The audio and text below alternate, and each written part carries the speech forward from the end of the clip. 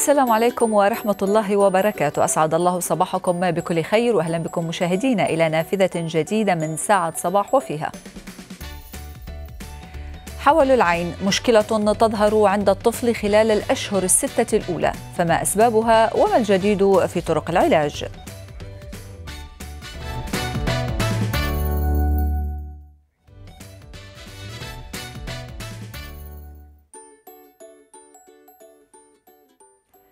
الحول هو مشكلة في الرؤية تسبب عدم نظر العينين إلى نفس النقطة في الوقت ذاته وهو غالبا ما يبدأ في سن الطفولة المبكرة.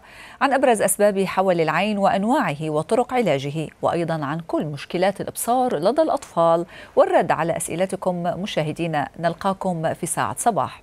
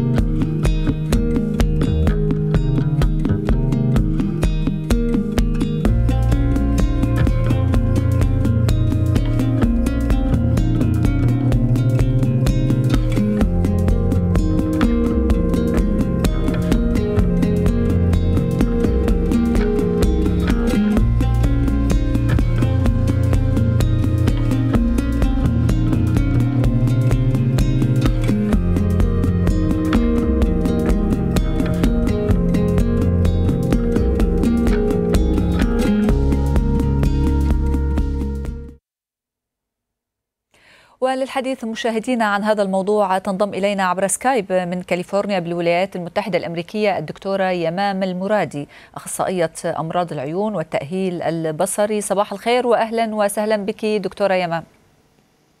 صباح الخير. أهلا وسهلا. قبل أن أبدأ معك دكتورة يمان في موضوع حلقة اليوم ننوه مشاهدينا إلى أننا نتلقى مشاركاتكم وأسئلتكم عبر أرقام الهاتف التي تظهر أسفل الشاشة وعلى صفحتي الجزيرة مباشر على فيسبوك وتويتر كما يمكنكم متابعة البث الحي لهذه الحلقة عبر موقع الجزيرة مباشر وكذلك عبر فيسبوك لايف دكتورة يمام في البداية يعني مشكلة الحول ما المقصود بها بشكل عام؟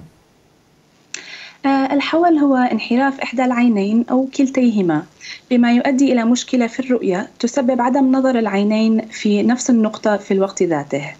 عادة يكون هذا الانحراف إلى الخارج exotropia وهو الحول الوحشي أو إلى الداخل باتجاه الأنف esotropia وهو الحول الإنسي.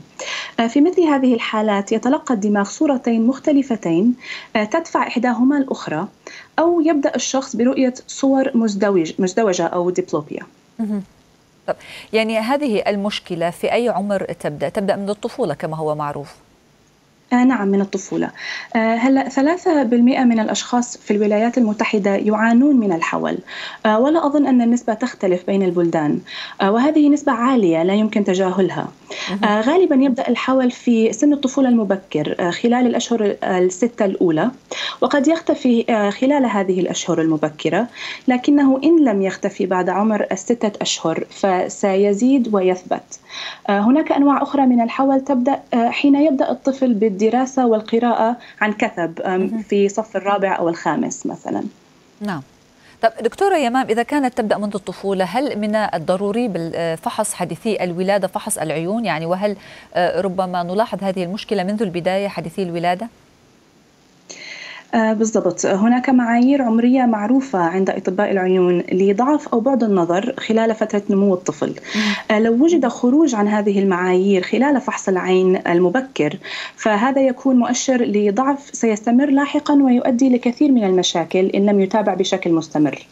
آه فحص العين المبكر هو نوع من الطب الوقائي لإدراك باكر لمشاكل عينية كضعف أو بعد النظر ولإدراك أمراض خطيرة كسرطان العين وأمراض الشبكية. لذلك فإن فحص العين المبكر هام جدا كما أن المواظبة على الفحوص السنوية هو بنفس القدر آه القدر من الأهمية. نعم. عادة دكتورة يمام الأطفال عندما يولدون حادثي الولادة يكون هناك مشكلة في النظر ويبان أنها حول في العينين. هل يستطيع الطبيب أن يميز إن كانت هذه المشكلة فقط عند حادثي الولادة أو إذا كانت سوف تستمر إلى أبعد من ذلك؟ أكيد. أحيانا لا يكون هناك أي سبب ظاهر للعيان يؤدي لإصابة بالحول خلال مرحلة الطفولة على الرغم من أنه قد ينقل بالوراثة. في الحالات الطبيعية تعمل العضلات المحيطة بالعينين بتناسق تام على تحريك العينين في ذات الاتجاه والوقت. لكن الحول يحدث نتيجة عدم تحكم عضلات العين بحركتها كما يجب. عندما لا تعمل عضلات العين كما يجب تفقد العينان تناسقهما. الأمر الذي يصعب على الدماغ إمكانية معالجة الصورتين المنفصلتين القادمتين إلى الدماغ. أحيانا يحصل الحول عندما تحاول العين التعويض عن نقص نابع من مشاكل نظر أخرى كبعد النظر. وهذا ممكن في في فحص مبكر أو متأخر ممكن للطبيب أن يعرفه. أيضا هناك أمراض أخرى كسرطان العين أو العضلية المخططة رابدومايوساركوما أو المياه البيضاء الخلقية congenital cataracts. هذه الأمراض تسبب الحول عن طريق منع الضوء للدخول إلى العين خلال المرحلة التنموية. الدموية مما يؤدي إلى حول ناتج عن كسل العين. وأيضا هذه الأشياء يقدر الطبيب على أن يكشفها بسرعة خلال الفحص. نعم. إذا تكلمنا ذكرت أن الوراثة ربما تكون عامل أو سبب من أسباب إصابة الطفل بالحول. هل هناك أسباب أخرى أيضاً؟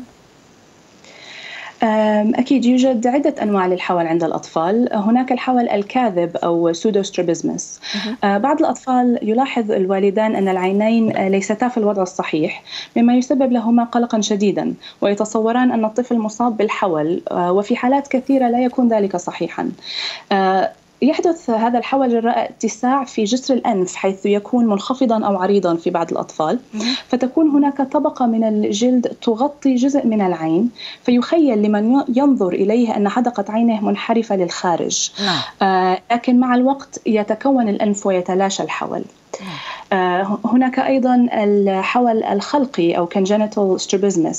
هذا النوع من الحول عند الأطفال يظهر خلال الاشهر الستة الأولى من حياة الطفل ويتميز بحول كبير لا يختفي بل يزداد ويتحول إلى حول ثابت وظاهر. آه في مثل هذه الحالات يجب إجراء فحص شامل للعينين مع قطرات توسيع. من أجل فحص احتمال ضعف النظر ونفي الحاجة إلى وضع نظارات طبية. حول الأطفال الخلقي المسبب للحول الثابت ينتج في غالبية الأحياء الحالات عن كون عضلات العين قوية مما يؤدي إلى شد العين إلى الداخل. ومعالجة هذا النوع من الحول تتم بواسطة الجراحة لإرخاء هذه العضلات. من المعروف اليوم أن تحقيق النتائج الأمثل في معالجة الحول الخلقي يكون كلما أجريت الجراحة في سن أصغر بين نصف عام حتى عام واحد. وعندها يكون الاحتمال الأكبر لتطور نظر سليم في العينين. نعم. يوجد أيضا نوع آخر من الحول يسمى الحول التكيفي أو accommodative strabismus. يظهر هذا النوع من الحول عند الأطفال ما بين السنة ونصف وحتى سن, سن ثلاثة سنوات. ويظهر نتيجة لبعد نظر خلقي. في في هذا السن يبدأ الطفل بقضاء وقت طويل نسبيا في الأعمال القريبة. ونتيجة ذلك تتشنج العضلات الباطنية وتحاول التركيز بواسطة العدسة من أجل رؤية الصور واضحة. نعم. تتم معالجة هذه الحالة بوصف نظارات طبية لمعالجة بعد النظر بعد استعمال النظارات من الممكن أن يتحسن الحول عند الطفل بشكل كامل. أي عندما يضع الطفل النظارات فقد يختفي الحول تماما. أو ثمة احتمال أن تحسن النظارات جزء من الحول بينما يتوجب إصلاح زاوية الحول المتبقية بواسطة التأهيل البصري. نعم. وبالتالي دكتورة يمام يختلف, يختلف العلاج حسب نوعية الحالة ونوعية الحول آه، تمام بالضبط. بالضبط. نعم. هناك أيضا الحول الوحشي آه، يظهر هذا الحول عند الأطفال نحو الخارج الحول نحو الخارج آه، قبل سنة نصف سنة ويجب عندها نفي احتمال وجود مشكلة عصبية. وفي سن أكبر قد يظهر الحول نحو الخارج عند التعب أو المرض أحيانا. يتحول الحول من حول يظهر في بعض الأحيان إلى حول ثابت ودائم. بالإمكان معالجته عن طريق التأهيل البصري أما في الحالات التي تكون زاوية الحول فيها كبيرة جدا فهناك حاجة إلى عملية جراحية للحول يليها التأهيل البصري. دكتورة يمام وردنا ربما في هذا الموضوع العديد من أسئلة وتعليقات متابعينا على صفحتي الجزيرة مباشر على فيسبوك وتويتر عن موضوع حلقة اليوم. في البداية نأخذ يقول حساب التاجر أبو منصور هل النظارات هي حل لمشاكل الحول عند الأطفال؟ ربما ذكرت دكتورة يمام أن إحدى هذه الحالات يمكن معالجتها بالنظارات؟ آه نعم. يعني في في كذا حالة ممكن علاجتها بالنظارات. ولكن النظارات عادة ليست لا, لا تكون كافية. يعني ربما تكون مساعدة للعلاج تماما تماما. تكون مساعدة ولكن ليست الحل الوحيد. يعني يكون ممكن نظارات مع التأهيل البصري أو نظارات مع جراحة. إذا أخذنا أيضا مشاركة أخرى من خوخة حامد تسأل آه، طفلة عمرها سنتين. بدأ يظهر الحول عندها منذ خمسة شهور تقريبا وكان يزيد بالتدريج وعند إجراء الفحص عليها تبين وجود قصر نظر وتم عمل نظارة. هل يمكن علاج؟ تسأل هل يمكن علاج هذا الحول بالنظارات الطبية فقط أم سيحتاج الأمر إلى تدخل جراحي؟ الحول الناتج عن قصر النظر آه، النظارات ستساعد على على الشكل يعني الشكل العين ستكون آه، يعني ليس ليس في حول ظاهر أيوه. نعم. تبدو طبيعية ولكن هو مثل عكاز آه، عكاز يعني أول في فور أن النظارة ليست موجودة لا تكون موجودة الحول سيعود فاستخدام النظارة من غير التأهيل البصري آه، آه، ليس كافيا نعم دكتورة يمام عندما تقولين تأهيل بصري ما المقصود به؟ آه، التأهيل البصري هو معالجة فيزيائية لمشاكل عديدة في انتظام عمل العينين من خلال جلسات تدريبية وتمارين لتقوية العين. نعم. طب وبالتالي آه، الحول آه، ذكرت أنه يظهر منذ الطفولة، هل هناك أنواع من الحول تظهر في عمر متقدم؟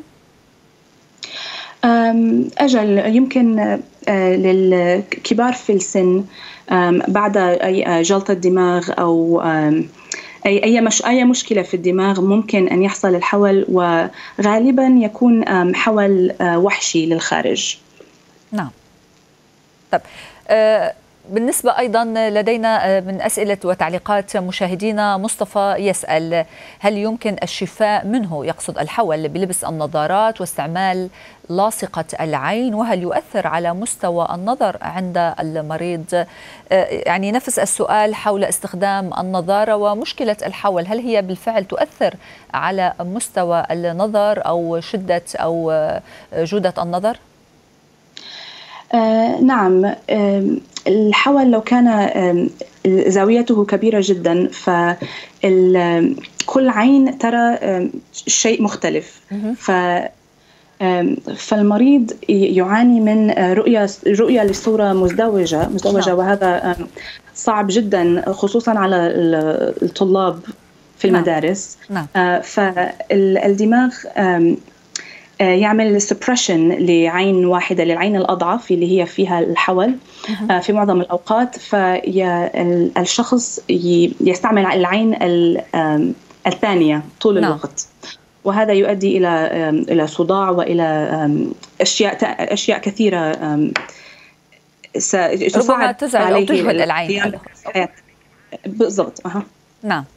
طب دكتورة يمام هل يمكن لبعض الممارسات الخاطئة التي يمارسها ربما الأطفال أو الكبار ولكن تحديدا الأطفال أن تسبب بهذه المشكلة يعني ربما مشاهدة التلفاز لساعات طويلة ربما التركيز في نقاط معينة قريبة أو بعيدة لمدة طويلة هل يمكن لهذه الممارسات أن تسبب في مشكلة الحول عند الأطفال؟ أجل خصوصا الإفراط في استخدام الإلكترونيات. آه، هذا يسرع في ضعف أو قصر النظر ويقلل من تركيز العين مما يؤدي إلى آه، convergence insufficiency أو القصر في تقارب النظر و accommodative insufficiency أو الرؤية الضبابية. كذلك استخدام الهواتف الذكية بكثرة يؤدي إلى تعب وإرهاق العين بالإضافة إلى ألم في الرقبة والأكتاف. قد يؤدي إلى حول بعد بعد ما ما يكون موجود القصر في تقارب النظر. أيضا. نعم. طب بالنسبة لهذه المشكلة عند الأطفال ذكرت أنه آه، تذهب مشكلة الحول آه، حديثي الولادة عند عمر ستة أشهر وبالتالي يجب على الأهل أن يعني لا يحددوا أو الطبيب لا يحدد إن كان هناك مشكلة حول أو أي مشكلة في النظر إلا بعد ستة أشهر عمر ستة أشهر آه، أجل. في خلال الستة الأشهر أول ستة أشهر للنمو العين تمر بأشياء عدة خلال نموها للستة أشهر. فممكن يوجد حول ممكن يوجد حتى الهايبروبيا الذي هو الحول للأعلى وليس الوحشي أو الإنسي. فهذه كلها أشياء طبيعية من خلال النمو. لكن بعد ستة أشهر ولهذا أول فحص آه، هو عند الستة أشهر. يعني أول فحص عين يقوم به طبيب العين آه، هو ستة أشهر وبعدها سنة ويكمل بعدها ويستمر في الفحص. تماما. نعم. أيضا لدينا سؤال آخر من كريم يسأل فيه أنا ابني عنده أربع سنوات واكتشفت أن عنده حول وضعف في النظر. الحول ده علاجه إيه؟ والعملية تكون عند عمر كم سنة؟ وشكرا. يعني لاحظنا من خلال التعليقات دكتورة يمام أن اكتشاف الأطفال أو الحول عند الأطفال عمر سنتان عمر أربع سنين. يعني هل بالفعل هنا المشكلة تكون واضحة؟ لم تكتشف في عمر ستة أشهر؟ آه، هلا الفحص لشخص عنده ستة أشهر صعب. آه آه ف يعني ممكن أن لا لا يعني ربما لا يستطيع الطفل التركيز في الفحص حتى لا نعم. نعم. آه فخلال سنتين أو ثلاث سنين يصبح الفحص أسهل للطبيب. فيقدر أن يشوف يعني ممكن يشوف التركيز آه، تركيز الطفل على جسم معين أو على على شيء. فالديتكشن يعني ممكن يش... أو الفحص نعم أن يكون الحوال ممكن آه الفحص ممكن نعم. يكون نعم. فبالتالي نعم. يكتشف يكتشف عند السنتين أو ثلاث سنوات. نعم. وكان كريم يسأل حول آه، الجراحة. متى آه، في مشكلة الحول متى تدخل الجراحة أو متى آه، ممكن أن ندخل في العملية الجراحية؟ الجراحة ممكن أن تبتدئ من من قبل سنة من ستة أشهر. وهذا يكون يعني يساعد على نجاح العملية بشكل آه، أكبر لو يعني كانت كلما كان متقدما أصف. العملية آه، ربما كان النجاح أكثر بالضبط نعم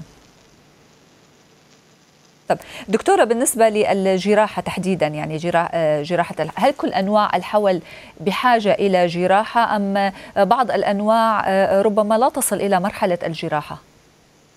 آه، بشكل عام لا لا تجرى الجراحة إلا كحل أخير.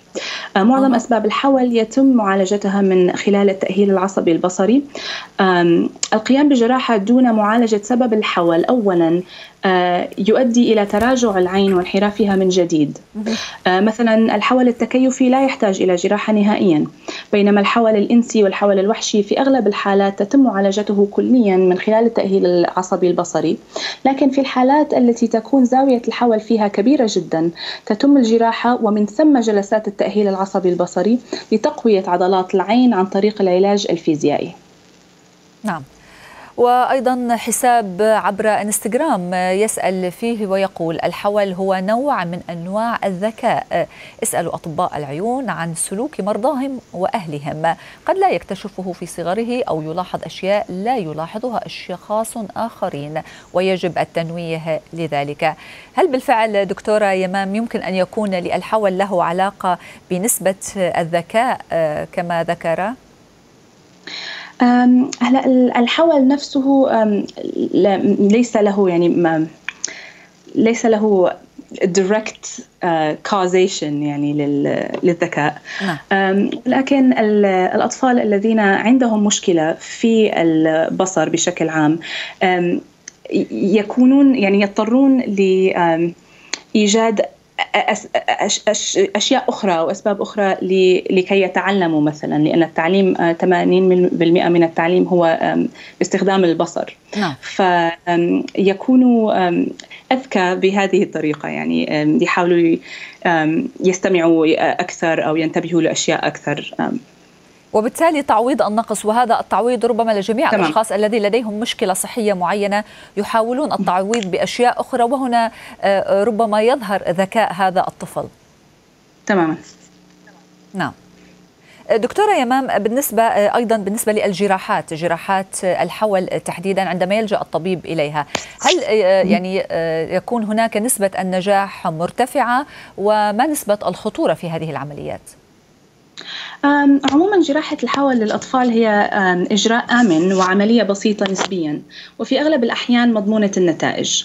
ولكن مع كل عملية جراحية هناك خطر. أه، تراجع العين وانحرافها من جديد أه، ممكن إذا لم تتم معالجة السبب الرئيسي الانحراف أولا كما قلنا. أه، كما أن من الممكن أن يكون عند الطفل حساسية من المخدر وإن كان موضعيا. أو من حقن الستيرويد بعد العملية. كما أن الرؤية المزدوجة هي من أكثر الآثار الجانبية شيوعا وسببها شد عضلات العين أكثر من اللازم خلال الجراحة نعم طب وبالتالي العملية الجراحية كيف تتم؟ يعني تصحيح البصر أو تصحيح الحول كيف يتم من خلال العملية الجراحية؟ من خلال العملية نفسها نعم. العملية مع تطور الطب ووجود الأجهزة الحديثة أصبحت جراحة العين لتصحيح الحول أسرع وأسهل. فيقلل إجراء minimal access procedure من حجم الشقوق اللازمة لجراحة عضلات العين. فالجراحة نفسها يعني يحصل الطبيب يعمل شقوق أو ثقوب حول العضلة. نعم. وثم يتم شدها إلى المكان الصحيح. نعم. في عام 2007 آه، تم تصميم جراحة مجهرية للحول آه، سميت Minimally Invasive Strabismus Surgery أو MISS للاختصار لتكون طريقة أدق وأقل تدخل جراحي ممكن للوصول إلى عضلات العين. نعم. السمة المميزة ل MISS هي وضع العديد من الثقوب الصغيرة بدلا من ثقب واحد كبير كما كانوا يعملون يفعلون قديما نعم. للوصول إلى عضلات العين. نعم. الخطورة في هذه العملية نسبة الخطورة. نسبة الخطورة على حسب الشخص. يعني لو كان لو كان صغير في العمر نسبة الخطورة تكون يعني تكون أعلى بنسبة يعني من جهة المخدر والستيرويد ولكن بحكم أقل صغر الطفل يعني. بحكم؟ صغر عمر الطفل. بالضبط بالضبط تماما. أه، لكن العملية نفسها يعني أكثر من 80% نجاحها أكثر من 80% نعم. وأيضا استشارة أخرى آه، حول نفس الموضوع حول العينين تأتينا آه، عبر إنستغرام ويقول أو تقول صاحبتها أنا كشفت على بنتي والدكتور قال لي أن عندها حول يسمى بالحول الوحشي وقال أنه لازم إجراء عملية بس هو مش بيبقى باين عليها غير لما أركز معاها بس. المشكلة أن الدكتور بيقول آه، بيرد تاني أو يرجع تاني. هل هذا الكلام صحيح؟ أرجو الرد. دكتورة يمام يمام عندما تكون مشكلة الحول غير ظاهرة كما تذكر والدة الطفلة أو والد الطفلة وفقط عند التركيز وينصح الطبيب بإجراء ربما عملية ولكن يقول أن الحول ربما يعاود مجددا. ما رأيك؟ هلا الحول الوحشي يظهر عند الأطفال آه، وهو حول نحو الخارج آه، ويظهر قبل سن نصف سنة. يجب نعم. عندها نفي احتمال وجود مشكلة عصبية. وفي سن أكبر قد يظهر الحول نحو الخارج عند التعب أو المرض وأحيانا يتحول من آه، حول يظهر في بعض الأحيان إلى حول ثابت ودائم. بالإمكان معالجته عن طريق التأهيل البصري خصوصا إذا لم يكن ثابتا. أما في الحالات التي تكون زاوية الحول فيها كبيرة جدا فهناك حاجة إلى العملية يليها التأهيل البصري. وبالتالي ممكن أن يكون الحول غير ظاهر يعني فقط عند فحص الطبيب هو الذي يحدد إن كان هناك حول أو لا. بالتأكيد. نعم. دكتورة يمام نذهب نحن والمشاهدين وأنت إلى هذا الفاصل القصير ثم نعود لاستكمال النقاش والتعرف على المزيد من تعليقات متابعينا على مواقع التواصل الاجتماعي. فتفضلوا بالبقاء معنا.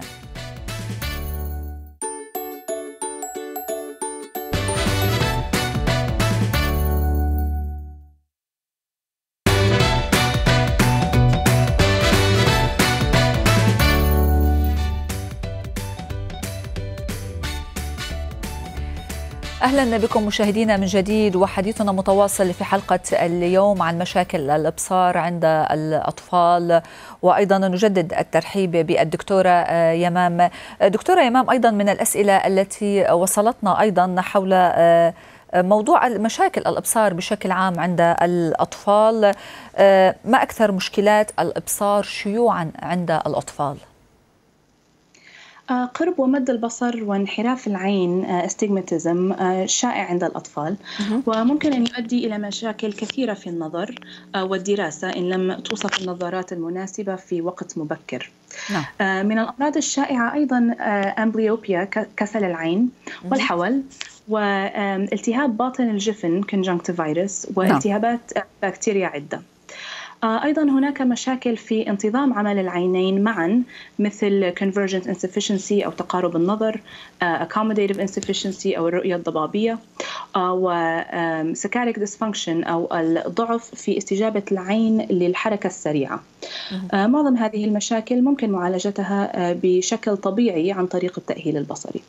نعم. آه، وأيضا من الأسئلة التي وصلتنا أيضا نورة تسأل ابني لبس نظارة في عمر أربع سنوات هل ممكن الاستغناء عنها مستقبلا أم لابد من عمل ليزك وفي أي عمر؟ آه، يعني هذا يتوقف على لماذا لبس النظارة؟ لو هو عنده آه، قرب نظر أو بعد نظر أو انحراف في العين فممكن عملية الليسك آه، يجب أن يكون عنده عمره 18 عاما فما فوق نعم. كي يقدر على عمل العملية. لو النظارة لبسها لأن عنده حول وليس عنده أي شيء آخر ف يعني ملبوسه بس عشان الحول. نعم. لو عمل السيرجري نفسها يعني الجراحة للحول أو التأهيل البصري آه، ممكن أن لا يلبس نظارة آه، بعدها. نعم. آه، وأيضا يعني سؤال بالنسبة للنظارة تحديدا مع مشكلة الحول. يعني الطفل الذي يجري عملية تصحيح الحول هل يستطيع الاستغناء عن النظارة نهائيا؟ آه، لو كانت النظارة فقط يعني ليس فيها أي وصفة إلا الموشور أو البريزم. آه، في هذه الحالة ممكن الاستغناء عن النظارة كليا بعد الجراحة. نعم. وأيضا مشاهدينا ينضم إلينا عبر الهاتف الدكتور أحمد البدوي استشاري طب وجراحة العيون. صباح الخير واهلا وسهلا بك دكتور أحمد. يعني حديث حلقة اليوم عن مشكلة الحول عند الأطفال. وهناك أسئلة كثيرة تركز على موضوع الجراحة. جراحة الحول بالنسبة للأطفال. ما الجديد في الجراحات؟ يعني بالنسبة لجراحات الأطفال للحول نعم. طبعا يفضل دائما الجراحة للحول تعمل في أقرب وقت ممكن. طبعا بعد إيه؟ ما يجرب النظارة الأول. يعني الأول يجرب نظارة لو النضارة عدلت الحول كله خلاص مفيش داعي نعمل جراحة. لو ما عدلتش الحول كله يبقى لازم آه لازم جراحة في أسرع وقت عشان آه نمنع الكسل يحصل في العين. نعم. طيب آه الجراحة الجديد بقى إيه؟ الجديد إن, إحنا مثلا كان في في الجراحات الحول دي حاجات بقى تكنيكس جوه العملية يعني آه كان إن إحنا لازم آه نقص العضلة ونشيل منها جزء ونغير مكانها ونلحمه في مكان تاني في العين لا دلوقتي ممكن إن إحنا إيه نخيط العضلة ونقصرها وهي من غير أي قص ولا حاجة. بالخياطة مثلا نعم. بتضعيف أجزاء منها. وبالتالي نسبة الخطورة هنا أصبحت أقل العضلة. دكتور أحمد؟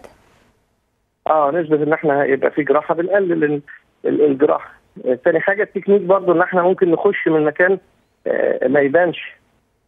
فبنقلل بنقلل في في الجراحة يعني أو الأجزاء اللي هتتقطع.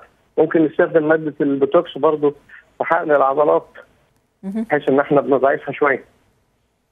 يعني كلها حاجات بتبقى جوه في التكنيك. المهم إن العملية في الآخر بتبقى بسيطة وما بتبانش وما بتاخدش وقت. طب نسبة نجاح مثل هذه العمليات هل بالفعل تحسن مشكلة الحول بنسبة مرتفعة؟ آه يعني هو نسبة النجاح 80% 80% فأكثر في نسبة طبعا بتبقى 20% بيبقى في بقايا في, في الزوايا الزاوية اللي كانت موجودة بتقل بس ناقص حاجات بقية بقية. يعني ممكن تتعاد تاني.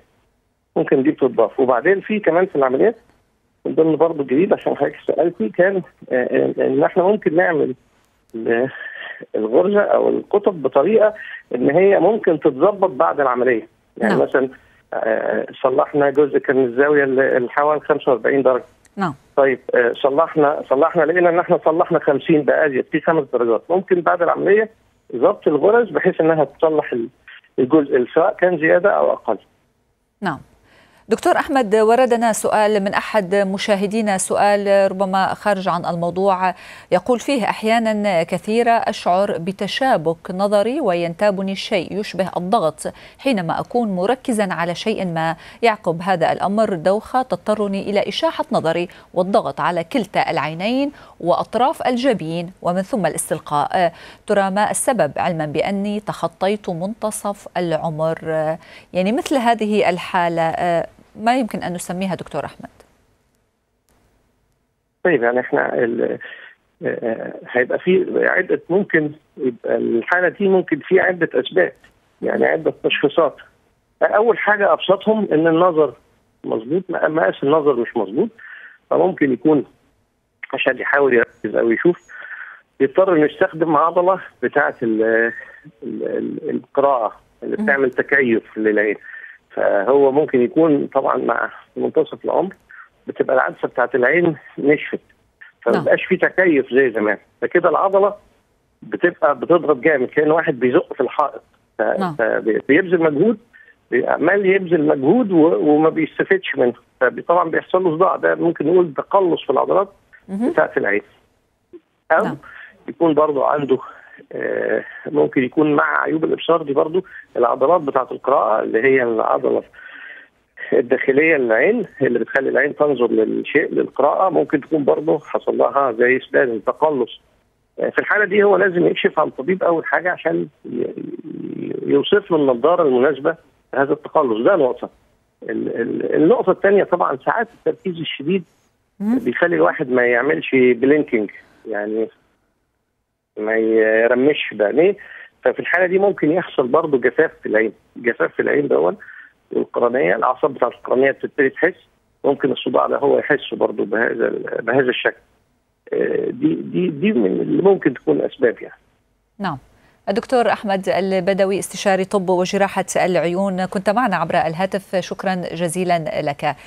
وبالعودة إليك دكتورة يمام حول موضوع حلقة اليوم وبعض الأسئلة الشائعة التي وردتنا سؤال من سمية تسأل وتقول عندي طفل يبلغ أربع سنوات تكونت لديه كتلة بيضاء في جانب العين من الداخل مع ورم تحت العين هل يمكن معرفة سببه وعلاجه؟ أجل هذا سببه بكتيريا دخلت إلى العين فلازم الكشف يعني عند الطبيب ولكن في البيت ممكن أن تضع بشكير ساخن يعني نعم. أو فاتر نعم. على العين لمدة عشر دقائق مرتين في اليوم وس يعني سترى أن الإحمرار سيقل ولكن لو كانت البكتيريا يعني عالية في في العين فلازم مضاد حيوي. نعم. دكتورة يمام أيضا من الأسئلة التي وردتنا عبر فيسبوك لايف سؤال من علي أبو أحمد. يسأل ابني عمره أربع سنين لا يرى بالعين اليسرى ومعه عدم نمو بالعصب البصري. هل يوجد علاج له؟ وعلما أن النمو نمو العصب البصري متوقف عند 3% ممكن يعني هو عنده كسل في العين أو أمبليوبيا. ممكن من خلال التأهيل البصري أن يعيد بعض الشيء من البصر ولكن 3% رقم يعني, يعني ضعيف ربما أو قليل. نعم. ضعيف. آه آه. فممكن يجد صعوبة يعني. نعم آه، ولكن في مثل هذه الحالات عندما يتوقف نمو العصب آه، البصري آه، لا يوجد هناك علاجات أو طرق تحفز نمو هذا العصب خاصة أنه في عمر صغير أربع سنوات؟ للأسف لو لو حصل شيء للعصب البصري نفسه صعب من الصعب جدا أو يعني التكنولوجيا ما وصلت لسه لزراعة عصب بصري مخ يعني أو نسبة التحسن ضعيفة للأسف. نعم. في مثل هذه الحالات ما يكون السبب؟ يعني يكون هل ربما وراثيا عدم نمو العصب البصري؟ آه، في في عدة أسباب. ممكن يكون آه، وراثيا ممكن يكون ناتج عن آه، مشكلة في في في الهواء في الأكسجين وعند الولادة. ممكن أيضا يكون ناتج عن عن ضربة ضربة على الدماغ أو لو الولد وقع مثلا من مرتفع أو يعني أو, أو مكان مرتفع نعم. آه آه تمام. نعم. أيضا دكتورة يمام من الأسئلة التي وصلتنا آه، عامر يقول عندي ابن أختي عمره ثلاث سنوات. قبل شهرين اتضح أنه ما بيشوف كويس أو منيح. رحنا للطبيب آه، وصف له نظارات. بماذا تنصحينا؟ يعني ربما هذه المشكلة نلاحظها أو منتشرة نوعا ما بين الأطفال آه، عدم الرؤية جيدا في عمر صغير. في هذه الحالة مشكلة النظارة أو حل النظارة تحل المشكلة على المدى الطويل؟ آه هذا يتوقف على الوصفة نفسها. لو هو عنده مد أو قصر نظر فالنظارة كافية. آه وربما عندما يكبر أكثر ممكن يستعمل العدسات اللاصقة. ف يعني هذا يتوقف على سبب لماذا هو يضع نظارة.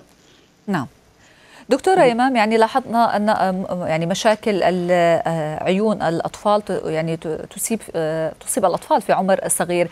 إذا أردنا بعض النصائح للأمهات وللأهل ربما نوعا ما لتجنب مشكلات الإبصار عند الطفل بماذا تنصحين؟ آه، أهم شيء هو الفحص السنوي وابتداء الفحوص باكرا يعني منذ ست أشهر ستة أشهر و الفحص الفحص يعني المواظبة على الفحص لكي نقدر على اكتشاف أي أي مشكلة آه، باكرا. نعم. وبالنسبة ربما أيضا آه، للأفراد في استخدام الهواتف الذكية أيضا والتلفاز ربما آه، أيضا يؤثر على نظر الأطفال. أكيد خصوصا الآيبادز وال يعني الأشياء الأقرب من التلفاز. نعم. بهذا مشاهدينا ينتهي لقاؤنا لهذا اليوم من ساعة صباح. نشكر ضيفتنا الدكتورة يمام المرادي أخصائية أمراض العيون والتأهيل البصري والتي كانت معنا عبر سكايب من كاليفورنيا بالولايات المتحدة الأمريكية. وبالطبع الشكر لكل مشاهدينا ومتابعينا على طيب المتابعة. نرجو لكم صباحا جميلا. والسلام عليكم ورحمة الله وبركاته.